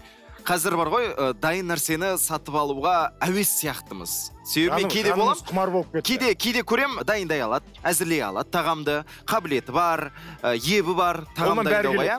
Иә бірақ ә, сатып алғысы келеді ә, дайын тағамды ала салғысы келеді алдыра салады. Соған қазір бәріміз ә, әуестеніп ә, әсіресе қыз келіншектер ә, жақынырақ секілді. Солай ма? енді ә, мысалы чизкейкті сен үйде дайындасаң оған қосатын сыр бар творожный сыр деп аталады. Одан кейін жаңағы кілегей бар барлығын қосқан кезде сол азық түлікке кететін шығынмен барып дүкеннен сатып ала салған оған қарағанда ыңғайлырақ оңайырақ. Бәрібір сол ақша шығады. Одан кейін оған уақыт кетеді дайындаған иә үшін. мен сіздерге қысқасы сол жігіттер жақсы түсінікті. Түсінікті ма шерхан саған? Рахмет көп көп. Негізі неге мен сіздерге бір сұрақ қояйыншы неге үйдің тамағы дәмді болады? Себебі үйдің тамағы махаббатпен әзірленеді. Ниетпен. Жоқ меніңше ол махаббатпен әзірлеу деген ол әшейін бір өзімізді ақтап алу сияқты. Мысалы ә, біз өзіміз оны қолмен жасаймыз. Иә. Өзіміз тағамды қолмен жасаймыз. Ал дүкендерден сатып алатын тағамдарды көбіне комбайн деп жатамыз иә? Сондайлар әзірлеп жатады. Бәрін сала саласың олар тез тез дайындап шығады. Меніңше сол себептіден ә, қолдың тағамы дәмдірек болатын сияқты дүкеннен сатып алған тағамға қарағанда. Мүмкін мүмкін. Мүмкін. Мен де ол қосыламын қалай бірақ енді болғаны дегенде шерхан айта алмаймын. сен ол қалай болған деп ойланып отырсың ғой иә иә мүмкін бірақ енді ол қалай болғаны. былай ғой ол былай болғаны. Жігіттер иә. Мен соған айта салайын жауапты иә одан кейін келесі қонағымызды шақырып алайық. Жалпы бір ғана азық түлік түрімен екі адам сол тағамды бірдей әзірлесе екеуінің тағамы екі түрлі дәмде. Себебі әр адамның өзінің қолының дәмі бар. Әрине. Жоқтан бар жасайтын адамдар бар. Жай ғана мысалы макарон қуыра салады бірақ өте дәмді. Бала кездегі анау бәріміз жиналып алып бір дастарханның басында отырып жейтін макаронды естеріңе түсіріңдерші. Бала кезде жейтін. Дәмді иә? Қазақта айтады қазір ғой қолынан бал тамған деп. Иә қазір бір қымбат мейрамханаға барып саған үлкен андай ыдыстың ішіне мынандай қылып алып келіп салып беретін макаронды жеп көрсең ол кішкене дәмсіз дәмді ғой? емес Иә. сия- сияқты иә? Үйдегідей иә өткенде бір әлеуметтік желіде оқып қалдым. Осы дүнған халқы бар ғой. Ә, дүнген иә дүнген халқы. Ә, солардың ұлттық тағамдарының бірі ә, дапанжи деп аталады. Оны өздерің білесіңдер. Жеп көрген шығарсыңдар. Әрине. әрине. Иә. Сол ә, тағамның түрі білесіңдер ме қалай дайындалғанын? Жалпы бір ә, дүнген үйіне бір кісі қонаққа барған. Сөйтіп үйіне енді келген қонаққа енді дастархан жаяды тамағын әзірлейді ғой. Ә, сол себепті ә, сөйтіп тамағын әзірлейін десе үйінде дайындайтын тағамдар жоқ. Ештеңе жоқ керек? иә үйдегі барлық тағамды әйтеуір қазанға салып бірдеңе жасап тауықты алып келеді оның жаңағы тазалайды үйтеді бүйтеді сөйтіп бір тамақ дайындап береді. Сол тамақтың дәмі шынымен де ана келген қонақтың ә, Көңілінен шығады. сонымен бұл тамақтың атауы қандай деп сұрайды ғой. Сонымен сол жерде дапанжи деп кетіп қалған. Мен де негізі жарыққа солай келген. Келесі қонағымызды студиямызға шақырайық. Қымбат көрермендер ә, дәл қазір мархабаттың төрінде келесі қонағымыз да келіп қалды. Әнші актриса салтанат құдайберген. О! Мархабаттың төрінде құрмет қошеметпен студиямызға шақырайық. Салтанат салтанат. Болшы маған қолғанат қалай салтанат. келдіңіз Салтанат. күн. сол Қалай? әндегі салтанат сіз ғой иә? Салтанат Иә, салтанат. өзі. болшы маған қолғанат Ә, ерболат құдайбергеннің орындауындағы. Иә. Аха.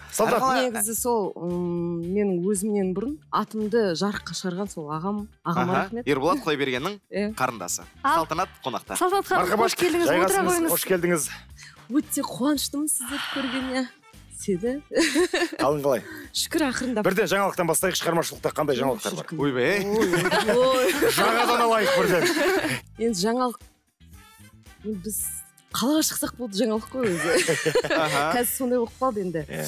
қазір енді міне түрден кішкене байқалып тұрған шығар осы қыс маған өте өте ауыр келіп жатыр. Неге? Себебі осы қыста менде суыққа аллергия басталды. Бір аллергия кәдімгі бірінші рет. бірінші рет. Иә. Суыққа аллергияны мен бірінші рет естіп отырмын. Сол мен де өте жаңа таң қалдым. Ондай да болады екен деп.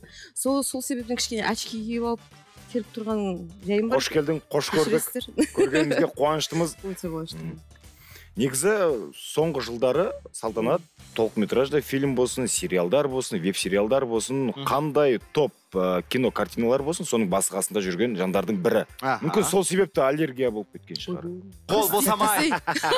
көз тиді иә мүмкін. Жоқ көз тигеннен бұрын қол босамай анда барасыз мында барасыз режим жоқ. Актердің негізінде кішкене ыыы вот қиыншылығы енді бізде ой актер деген оңай деп жаңағы сөйтіп жатады ғой көбінесе қитұрқысын білмейді ғой. Мхм ыыы жаңағындай біз неден өтеміз? Мынау режим жоқ ішкі күн. кухнясын білмейді. Сол ішкі кухнясын білмейді. Жаңағы ұйқы деген жоқ кішкене жаңағы қобалжу деген бар өзің білесің. Жаңағы образбен ойлану ол образға кіру одан шығу. Жаңағы режиссермен ақылдасқанда да оның да пікірін ескере отырып сценаристің да пікірін ескере отырып мына партнерлардың да пікірін ескере отырып мына гримершаларымыз бар біздің костюмерлеріміз бар бәрін ренжітіп алмай барлығын бір жаңағындай қалыпта ұстап күшті энергетикамен келудің өзі бір үлкен өнер деп білемін негізінде.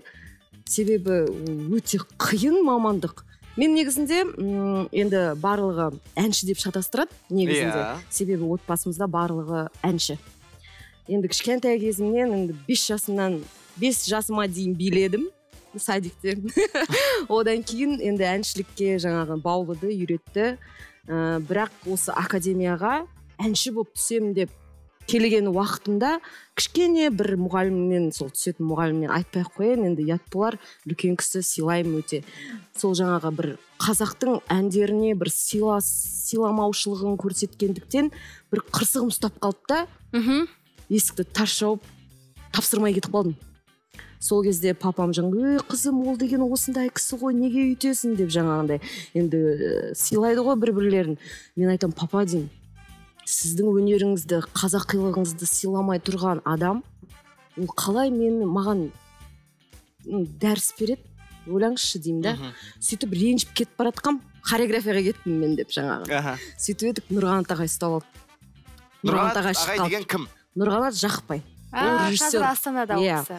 Сол кісі шығып қалды да о қанат қалайсың? деп жаңағы папаммен амандасып енді бір ауылдан ғой. Содан кейін «Е, не істеп жүрсің? деп сол міне қызым оқуға түсейін деп жатыр деп. А ән айта ала ма? деп. Иә айта алады жаңағы билей ала ма? Иә биді де қатырады десе. Ой сен не қыласың оны әншілікке беріп? Хореографияны не қыласың? Кел маған муздрама біз муздрамаға қабылдап жатырмыз ол бес мамандық алып өтеді. Жүрші көрейік сенің қызыңның қандай таланты бар деп жаңа әнді де айттым биімді де не істедім. Нұрғанат ағай да енді көбінесе пластикаға основаны ғой. Ұнатты сосын маған түсіндірді. Жаңа актерскийда кәдімгідей қызығып кеттім мен. Мә мынау бір жаңа дүние ғой. Бір бір өзіңді жаңаша қырдан зерттеу жаңағындай ше. Өзіңді бір ә, жаңағындай сыннан өткізу. Ол маған өте қызық болды. Сосын папаға ойланбастан айттым папа болды мен мынаны зерттеймін мен оқимын маған ұнады Аха. дедім да сөйтіп қалып қалдым да міне актриса болып ата анаңыз қарсы болған жоқ. Бәріміз әншіміз қызым ау вот бір ә, не бар бізде отбасымызда бәрі әнші дейді да бірақ та ә, негізінде өнер адам ол сегіз қырлы қырлы бір сырлы деген ол сөздің өзі өзі үлкен мағынасы бар да. Ол өнер адамына өте тән дүние да. Өнер адам шынымен де бес аспап болу керек. Жан жақты Иә. жан жақты болу керек. Әнші болсын актер болсын ол да ән айта алу керек. Негізінде мына қазақтың қаны деген өте әдемі ғой. Осы мен қазақ болып туғаныма өте қуанамын ше. Себебі, себебі біздің қанда шынымен де өнердің кәдімгідей алтын тың тұнығы жатыр ғой негізінде. Тамаша әншілік те бар Керемет. актерлік Негізі- те бар тіл шеберлігі де бар қараңыздаршы қандай Иә. әдемі. Негізі біреу білсе біреу білмейді. Қымбатты мархабат бағдарламасының көрермендері салтанат құдайберген елімізге танымал қанат айткүл құдайбергеновтер әулетінің қызы. Иә. Негізі салтанат ә, ағаларыңыз да ата анаңыз да енді өнер иелері негізі кімнен үлгі аласыз? Ағаңыздан немесе ата анаңыздан енді үлгі аламын демекші енді отбасымызда барлығы өнер адамы. Енді оған мен өте қуанамын. Себебі барлығы мен кенже болғандықтан барлығы аянбай мені әр түрлі өнерге баулыды. Мысалы ерболат ағаны көбісі біле бермейді художественный нен колледжді бітірген. Соңына дейін бітірмеді бірақ оқыды өте мықты суреттер салады. Мысалы ол ағаммен біз отырып алып жаңағы кілемнің эскиздерін мына ою өрнек дегендерді сондай кішкентай кезімнен соны бірге салып маған үйреткен. Мысалы сондай бір қыры бар. Үлкен ағам мысалы спортқа баулыды. Футбол жаңағындай турник жаңағындай. Брусьяға кәдімгі балалармен дворда жарыстырып қоятын мен. Андай ұл балаға ұқсап иә. Кәдімгідей брусьяда жарысатынбыз ана қинап па? әлде өзіңіз ба? Жоқ енді ағам мені мотивировать етіп жібереді да мен аны мотивировать етіп барып жарысасың ғой енді. Бұзық болған сияқтысыз иә бала кезде? Негізі салтанат мен қазіргі салтанатты көріп таңқалып отырмын. Осыдан екі үш жыл бұрын ғой деймін мен салтанатты көрген уақытта мүлдем басқа қыз еді. Қазір кішкене салмақты болып қалған сияқтысыз. Айтайын ба не үшін? Неге? Қыста аллергия пайда болды. Мүмкін ол да бір әсері бар шығар. Негізі осы көпті көре берсең көре бересің дейді. Иә. Сөйтіп бір ой жинайсың ы, өзің пікірін қалыптасады демекші. Оның барлығы әсер етеді әрине. Әртүрлі адаммен араласасың. Жаңағыдай ой түйесің үлгі аласың. Оның барлығы бізге әсер етуде. Біз өте сезімтал адамбыз ғой өнер адамдары өте сезімталмыз ғой. Сол себептен сіз содан байқап тұрған шығарсыз мүмкін, Мүмкін. деп ойлаймын. Мүмкін мүмкін. Негізі жандарөннің байқамайтыны жоқ. байқау демекші салтанат ханым. Ә, мархабаттың студиясына бізге қонаққа кіріп келген сәттен бастап сіздің мына ерекше образыңызға стиліңізге мән бердім. Күнделікті осылай киініп жүресіз бе деп сұрағым келеді. Негізі күнделікті. Қалай аталады бұл стиль атауы? Бұл қазақша стиль дейді бұл қазақша тренд дейді бұны. Жоқ түсінікті ғой. қара өмірде мен өзім андай свободно дейді ғой. Еркін киінгенді жақсы көремін Иә, өзің білесің ғой академиядан бері жаңа енді каблук киетінім бар енді арасында кішкене ол спектакльге байланысты чикаго деген спектакльге дайындалып жүргенде каблук киіп кішкене сезініп жүретін да. А негізінде өзім міне осындай жайпақ аяқ киім кроссовка дейді сондай жақсы көремін себебі. Еркін қозғаласың аха. өзіңді еркін ұстайсың қимылыңда бәрі еркін оған қимылыңа байланысты сөзің де еркін болады сол себепті. А бұл стильді неге киіп келдім бүгін? А, бір сіздерге бір жаңалығымды бір паш етейін деп келген шығармын деп ойлаймын. Ойбой қандай қандай жаңалық? эксклюзив. Иә эксклюзив. Осы осы жылдан бастап ә, әншілік осы өнерімді бір мамандығым ретінде қолға алсам деген. Қайтадан қолға алып жатсыз иә? Қайтадан болғанда ә, қайтадан емес. Себебі бір рет енді шыққан кезде жаңағындай 2017-те клип шығарып жаңағындай бастаған едім. Бірақ та дұрыс қой енді. сын болды. Иә. сын болды да жаңағындай көбінесе осы әке шешеңнің арқасында ағаңның арқасында дауыс жоқ дейді да. Сонда енді оның барлығын қалай көзін жеткізіп жатасың? О бәрімен қырылысып быт шыт болып жатпайсың ғой. Ой қойшы дедім. Өзі бір уақытысымен келеді дедім да мен ә, сүйіп өзім таңдаған мамандығымды алып жүремін деп актерскийімді толыққанды алған болатын тамаша. Енді осы екі жылда күшті күшті әндер шығардым. Енді ең бірінші бірінші ата анамның алдынан сосын ағамның алдынан өткіземін ол әндерді. Аха. Сөйтіп күшті отзывтар алып жатырмын. Жаңағыдай мә сенде де мынандай бір лирикалық бір ендеше нең бар екен ғой ақындығың бар екен ғой деп. Ақындығын өзіңіз жаздыңыз ба? өзім жазамын Тамаша. Тамаша. иә. ендеше салтанат бізде бір жақсы пікір айтайық. Бір әудеп жіберсеңізші. Әудеп жібереміз М, дәл қазір мархабат бағдарламасының жанды дауыста көрермендер үшін қазір осы бір хит болып жатқан тик токта сол әнді балқия. Вообще балқия емес болып тұр ғой бұл жерде құдай құдағи бір партия болып тұр ғой бұл жерде жақсы ендеше құдағи бір партия онда кеттік check it out check out. Естіп тұрсың ба мені бүгін бізде той ризамын көргеніме сені. Диджей қатты ғой әнді бізде бәрі сәнді. Тағы тағы. Атырайық таңды әр жақтан жиналыпты қыз боз бала. Айта келіп таң сөйлем қосып бір жаңа. Қайырмасы сол қалпы қосылыңдар жалпы. Жібер бір партия тағы. Тамаша! Йо йо йо! Тамаша! Рэп осындай болады салтанат бұл кімге арналған ән? Бұл негізінде тез тез жүретін адамға арналған. осы негізі тез тез айтқаннан кейін мағынасын ұқпай қалды. Кавер. Кавер. Кавер. А баяу нұсқасы қандай сонда? Э, кавер не бар ғой? Модерн толкин деген білесіздер ғой. Иә иә на на на на Разы- на дәл өзі өзіңіз көріңіз маған бір заказ берді да бір ә, осы тойда. Тапсырыс. тапсырыс иә. Той той иелері осы сізді айтқаныңыз қалаймыз деп жаңағындай келіспеуге мүмкін емес болды иә. қызықтырып сол себептен сосын қараймын да ана өлеңді зерттеймін. Ә, сөздерін зерттедім анау рэпті да зерттедім ағылшынша рэп. Қойшы дедім неге мен оны ағылшынша оқуым керекпін деп? Алдым да қазақшаға аудардым рэпті. Қазақшаға аудардым тойға байланысты жаңағындай сол жердегі той иелеріне байланысты жаңа бір партия кеттік ал қайырмасын сол қалпы қалдырдым. Себебі маған ұнайды. Бірақ та мен оны айтпаймын. Бірақ как фит сияқты болды да Аха. әдемі кетті. Аха. бір осындай идея шықты. Мхм. енді жақында ғана ата анаңызбен сырғалым деп аталатын әнді жазған ол екенсіз иә? керемет. Иә. Дуэт. Ол мен үшін үлкен мәртебе. Ол мен бір армандарымның үлкен армандарымның орындалуы деп білемін. Көңіліңізден шықты ма? Өте. Мхм өте себебі енді мен кішкентай кезімнен ата анамның өлеңін тыңдап өстім әр әнін жатқа білем қай жерінде жаңа папам ә, несін ә, ойнайтын жаңағы вариацияларын ойнайтынына дейін мысалы ше күтіп отырып жаңағыдай армандағанмын ше өзім қашан айтады екенмін осы өлеңдерді деп. Сөйтіп бір сәті түсіп осы филармонияда қазір міне әнші болып жұмыс істеймін ғой. Аха. Біздің осы сүйінбай атындағы филармонияда әнші болып жұмыс істеймін. Осы бір жаңа филармонияның елу жылдығы болды да содан ұсыныс түсті филармониядан түсті. Осылай мама папаңмен жаңағыдай деп. Өзі мамалар енді идея тастады да бәрі құптап жаңағыдай аяқ астынан сондай бір күшті дуэт шықты. То есть трио. Ал енді- жарыққа шықты дейсің. иә құдай қаласа тағы да міне идеяларымыз бар бұйырса. Ағаңызбен ә, дуэтте ерболат ағаңызбен ән айту. Жоспарда жоқ па? Енді ағаммен кішкентай кезімнен дуэтті айтып жүрмін негізінде. А, салтанат әнін мысалы әнші балапанда бірге орындадық. Ә, сосын ә, таңдама кештеме деген әнді маған ерболат ағам жазып берді да өзі жаңағындай рэбін айтып сол жерде клип түсіріп оны шығарған жайымыз бар.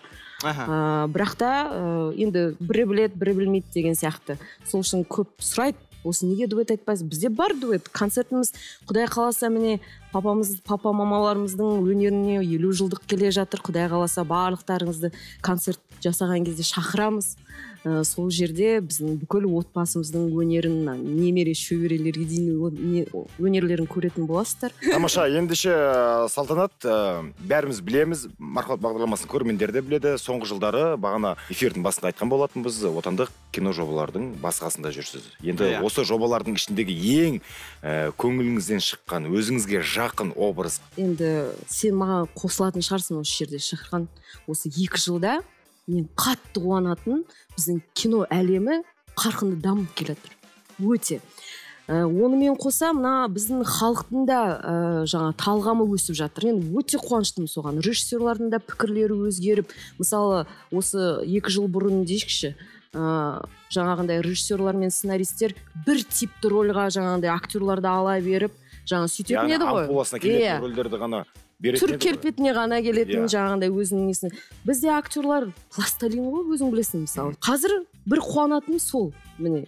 Күшті күшті рольдар ұсынып жатыр. Күшті күшті нәрселер жасауға болады мына халыққа көп затты көрсетуге болады. Шетелдің қай бір анау түк тұрғысыз түкке үйретпейтін заттарын көргенше соны ә, жаңа қазақилап әдемілеп заманауилап міне қазағымызға дәріптеп жатқаныма мен өте қуаныштымын. Соның бірі болғаныма да өте қуаныштымын. жиырма үште енді құдайға шүкір аллаға сансыз шүкір деймін. Бір өзіме ұнайтын тұрарлықтай сегіз проект сегіз проектте жұмыс істедім. Аха. Э, сол проекттерден өте қатты өзіме ұнаған площадкада жаңағы таптым ау ұнады мысалы. Өте бір қызық бір знаете андай ә, аяқ асты дейді ғой. Мысалы менің рөлім негізі эпизодтық роль болып барған мен аяқ асты сценарий сол жерде түсірілім болып жатқанда өзгеріп аяқ астынан сондай бір второстепенный роль сияқты болып кетті. Мен өте бір қуандым соған. Анвар маджанов ағамызбен мысалы жұмыс істеп дариға әпкемізбен жұмыс істеп. Ой андай ой енді очауды білесің өзің амплуасың біз енді жұмыс істеген сайын әр актердан жаңағыдай үйренеміз ғой. Бір бірімізден үйренеміз жаңағы. Тәжірибе алмасасыздар. иә алмасу дейді ғой. Мен өте қуанышты болдым. Ол кісілермен бір площадкада болғаныма сондай бір проекттің бір бірі болғаныма. Енді құдай қаласа енді осы алдыңғы жылы енді комедия көп болды. Енді құдай қаласа бір ой салар бір білмеймін, демек тарих қозғар мүмкін бір күшті күшті ну, туындылар шығады деп ойлаймын.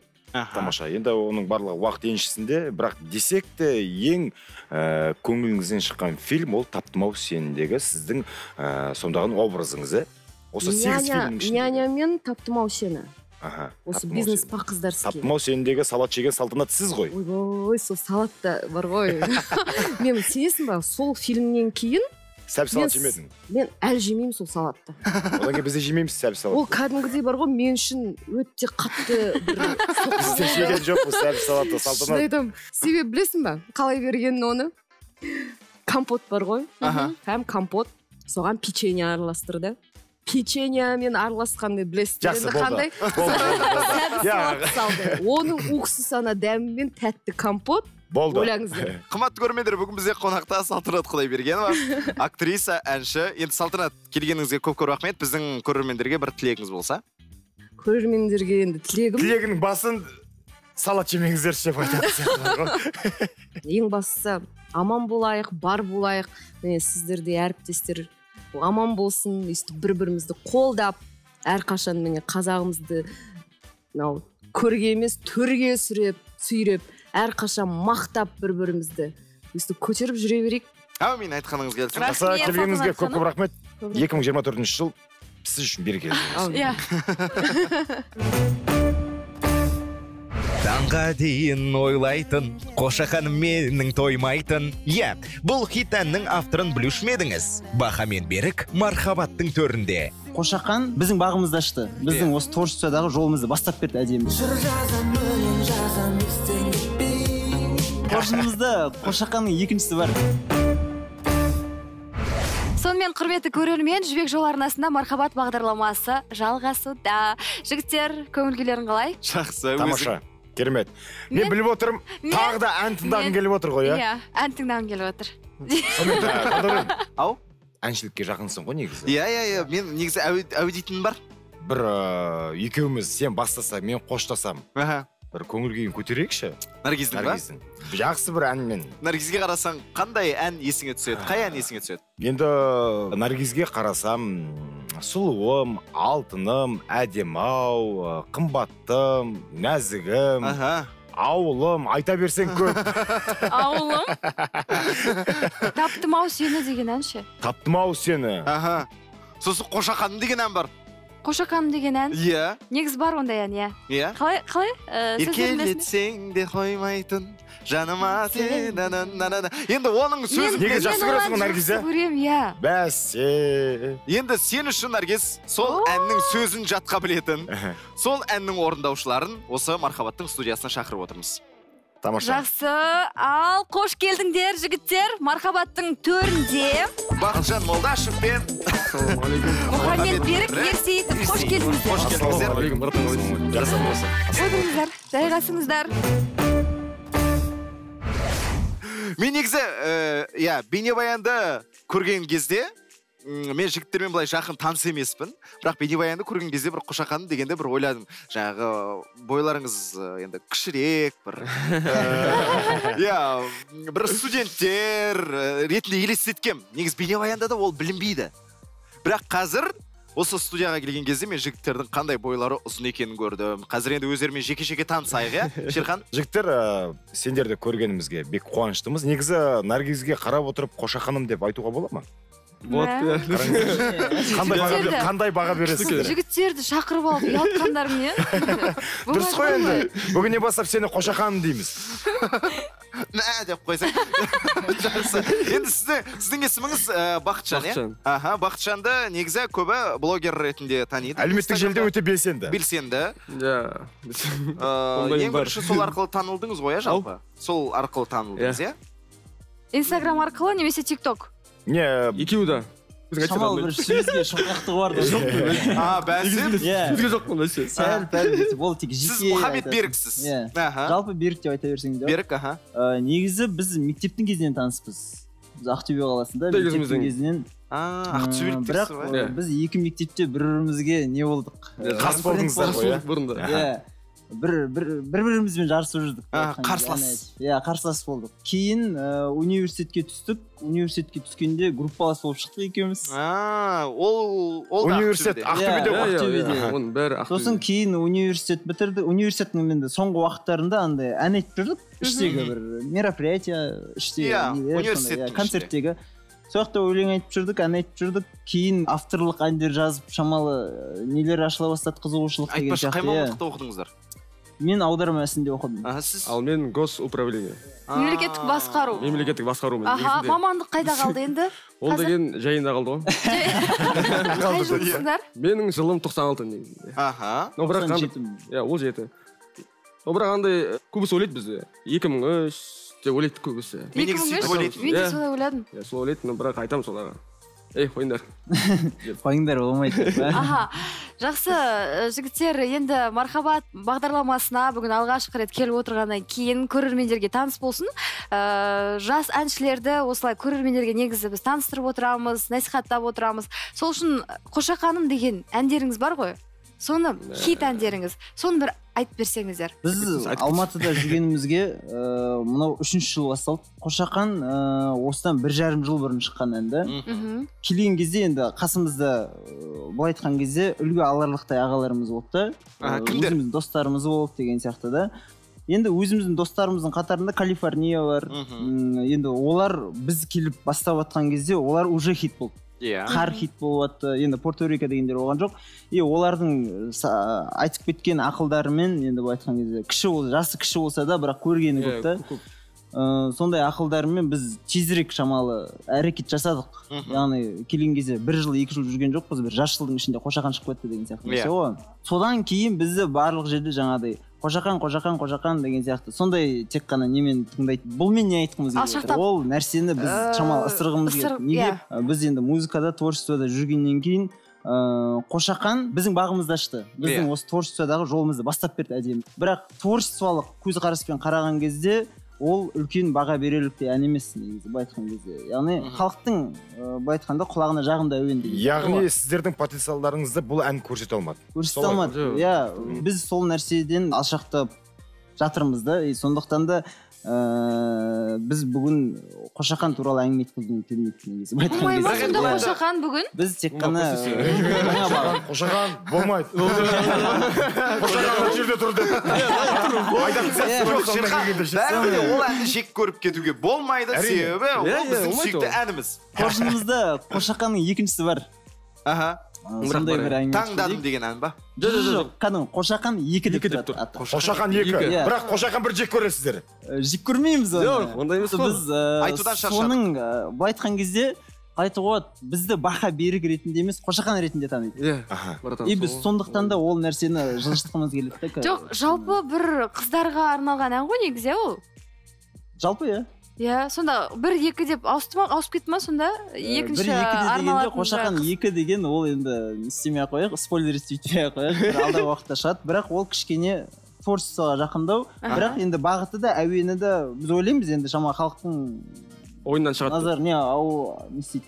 Аударады короче. аха. Бақытжан баха болып шығып жүрсіз иә? Мен баха иә. Сіз берік аха. Бірақ енді жазған кезде де ыыы мысалы б а х а болмайды. Бакха болады мысалы сіздікі б е р е е к болады. Сол кезде оқыған кезде бір қиындық тудырады деп ойламайсыздар ма? Жоқ мен өзім негізі аударма ісі мамандығының несі болғандықтан деп андай маманы болғандықтан десең. Ыыы, мен ойлаймын енді өнерді бастаған адам ол ар жақты да ойлайды да бір күні бір мына жаққа шығып кетсем екен хотя бы бір ыыы әлемді бағындырмасам да бір европаның бір шетінде жүрсем екен немесе россия мен қазақстанды алсам екен деген сияқты сондай бір ойлар болады ғой. Аха. Бізде де ыыы топтың атын ойластырдық бірақ ы, ойлаған кезде бір қияли сияқты болып көріндік өзімізге. Атын тапқан кезде адамдар оңай оқи алатындай қылдырып тастадық берік деген міне, берик деп жазсаң уже өйтіп оқи алмайды. Оған дәлел ә, біздің қошақанға реакция түсіргендер бар шетелдің. Сол кезде біз ойлағандай оқыды да баха берек деп. Аха. Дәл солай оқыды риза болып соған жақсы. Енді э, мен басында оқыған кезде қошақан әні шыққан уақытта мен берек деп оқыдым. Не деп? Берік берек. Берік берік деп тұр. Иә. Енді берек деп тұр ғой енді сондықтан мен қалай солай оқыдым? иә жақсы ендеше қошақан емес тағы басқа қандай ән махаббат ыыы дос деген әндеріңіз бар шығар енді. Бәріміз білетін. Туған жер иә туған жер ана әке туралы әндеріміз болса. Бәріміз біз тек қана махаббаттан басқа ештеңе жазбайды екенбіз махаббаттан басқа? Пока махаббатқа мас онда махаббаттан тағы бір ән енді қолқа салып тұрмыз енді. Біз жақында ыыы, бір фильмге саундтрек жазғанбыз. Ә, бәрі өз қолыңда деген фильм. Ол жаққа біз төрт әнімізді бергенбіз. Аха. Репертуарымыздан екі әніміз бұрын шығып кеткен ән екеуі сол фильм үшін арнайлап жазылған саундтрек иә. Аха. Ыыы, сол жақтағы енді бір әнді айтып берейік енді. Жақсы мархабат. Өз өзіме сыймай барамын үй жағыма да жете алмаймын үмітімді үзіп кете алмаймын ойланып қарасай өміріме кино кіріп кетті оның желісінен де қаша алмай соңына дейін бара алмай қаламыз ба а кезінде мені сүйдің ба не сүйдің ба не шынымен шынымен сол кезіндегі күйді ма не күйді ма не сезімде кезінде мені сүйдің ба не сүйдің ба не шынымен шынымен сол кезіндегі күйді ма не күйді ма не сезімде yeah. Еркелетсең де қоймайтын жаныма дер толмайтын таңға дейін ойнайтын қошақаным менің қанайсың енді сендер айтпасыңдар мен айтайын арманын орындаған жандәурен сен бағыңды бұртиып отыр да енді бұртиғаныңды сүйдім демеймін ғой енді. Онда атлет болып кіріп келейін ба кіріп келші балқия бол. Рахмет жандәурен. Иә қымбатты көрермендер біз ойын айдарына кезек берсек ойынның атауы қошақан деп аталады. Жоқ негізі ойынның аты енді шерхан сондай әзілге жақын жігіт. Мен мен мен емес Иә. деп аталады. Ол былай жігіттер сіздерге қазір сұрақтар қоямыз. Соған тек қана мен мен емес деп қана ә, жауап жауап бересіздер. Екеулеріңізге екі, екі қатысты жауап қана. Жауап бергенде сөйлемейсіздер сөйлемейсіздер тек қана карточкамен. Мен емес немесе мен. мен дейсіздер. Болды. А карточкамен айтамыз иә мінекейіңіз наргиз арасында э, шынайы жауап беріп одан иә, кейін не үшін екенін шағын бір оқиғалар болса айтып өтсеңіз болады. Жарай ма? Бізден сұрақ сіздерден жауап. Жақсы. Ал мен бастайын иә ал кеттік. Кім үнемі кешігіп жүреді? Көрермендерге көрсетейік. Жақсы. жақсы. Екінші сұрақ. Кім көп ұйықтайды? сен жұмыс істейсің ба өзің бірақ мен айтайын ба? Неге не үшін кешігіп сол жоқ мен негізі анандай нәрсе бар негізі қасымдағы балдарда негізі не істейді оны утверждает дейді ғой. Аха. Мен анандай э, кешігіп жүрген дегенде тақалып жүремін. Иә ровно жүреді иә, ровно. жүреді. Бірақ мысалға кешігіп бір самолетқа мінетін болсақ мен мінемін бес минуттан кейін короче бірдеңе жабылып қалады жаңағыдай. Тіркеу пойызға иә сондай пойызға мінсек бір рет болды. Алматыға Ә, келетін кезде осы бір жыл бұрын ба бір жарым жыл бұрын. Э, бұл сразу история түсіріп жатыр берігі жоқ анау мынау бірдеңе деп. Мен міндім резко пойызым. Яғни сенің жолың болғыш. Солай ғой негізі иә? Солай, мүмкін. Ондай болса вообще әрқашан сәттілік серік болады екен. Бұның өзі бір жетістік қой негізі. Әрине, талант десек те болады иә? кім кім көп ұйықтайды дегенге берік сіз мен дедіңіз. Мен мен емес дедім. Баха жоқ. Мен емес мен түнгі шабытпен таңға дейін баха ұйықтамаймын үнемі да. сондай жауапкершілігі мол жігіт екен негізі. Солай? білмеймін енді сондай шығар. Енді иә. Келесі сұрақ. Үнемі оқыс оқиғаларға кім көбірек тап болады? Оқыс оқиға деген қандай сонда?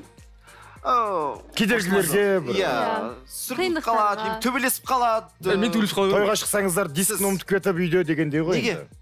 қандай мен оқиға? менде андай ет жаңағы вспыльчивыймын деші иә қыз ба иә сөйтіп қаламын андай.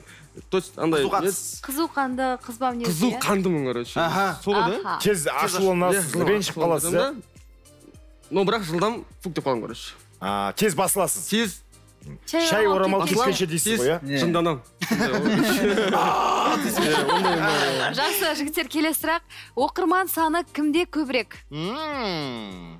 Ладно. Иә әлеуметтік желіде қанша оқырманыңыз бар? Инстаграмда үш жүз мыңдай э, тиктокта жеті жүз мыңдай. О берік күшті. Сізде ше менде инстаграмда сегіз мыңға жуық ыыы тиктокта жиырма мыңға жуық. Аха. жақсы көрсеткіш ол да. Келесі сұрақ. Сонымен ә, араларыңызда кімнің жауапкершілігі жоғары? Шынайы жауап береміз. Бұл Э, не творчество жағынан ба? Жалпы Иә, жауапкершілік. мхм творчество жағынан айтайын. Баха не үшін не себепті? Менікі енді андай ғой. Менікі самал андай иә сонымен тез ашуланамын тез қайтамын маркетинг жағы чуть чуть ше а бұл кісінікі? ыыы, андай ғой не жаңағы взаимность.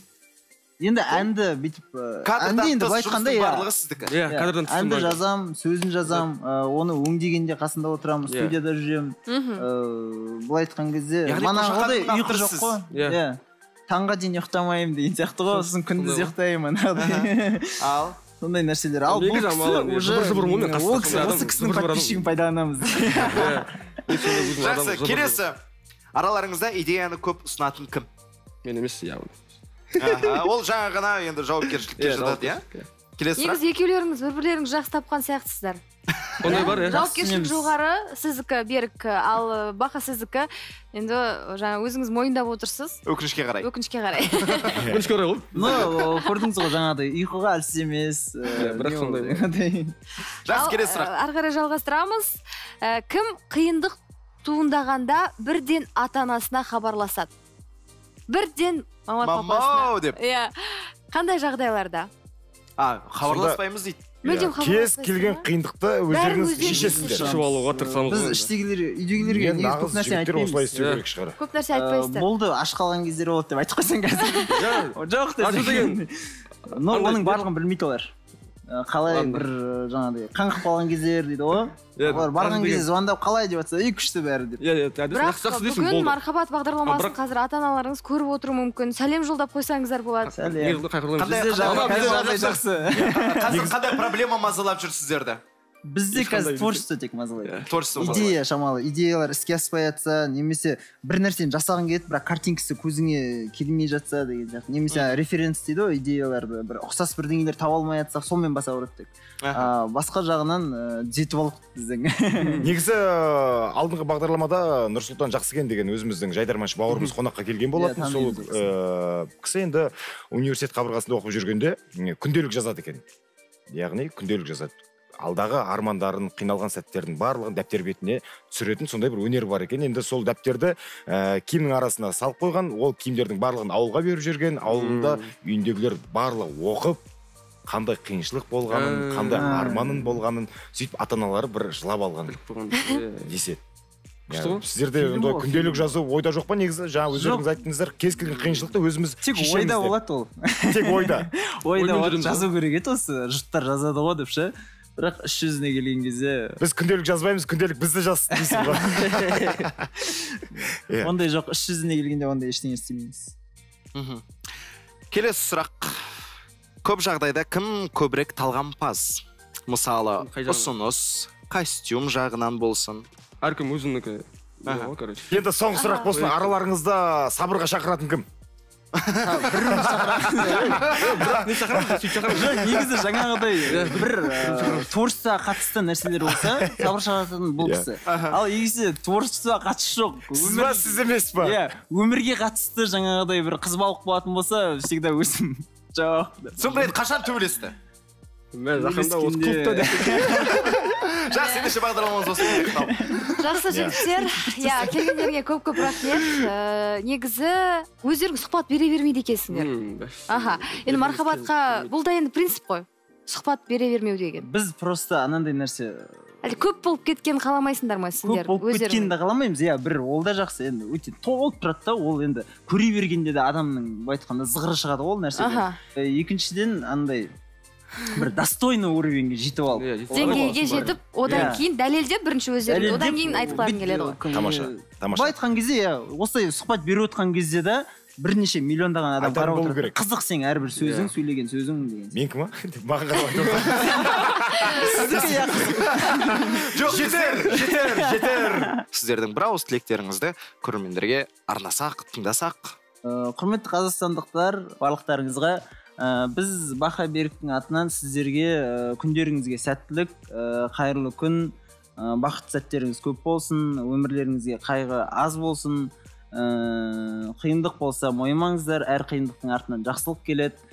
М, жалпы біздің енді жас болсақ та сіздерге шын ниетіміз шын пейіліміз шын көңіліміз шын тілектеріміз қарсы алыңыздар.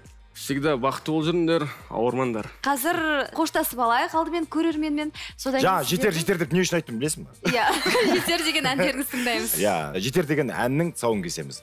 Қуанғыңыз келсе өзгеге қуаныш сыйлаңыз. Бақытты болғыңыз келсе болыңыз. Өмір өзіңіздікі ал көңіл бәріне ортақ қазына. Мархабат! Келесі кездескенше!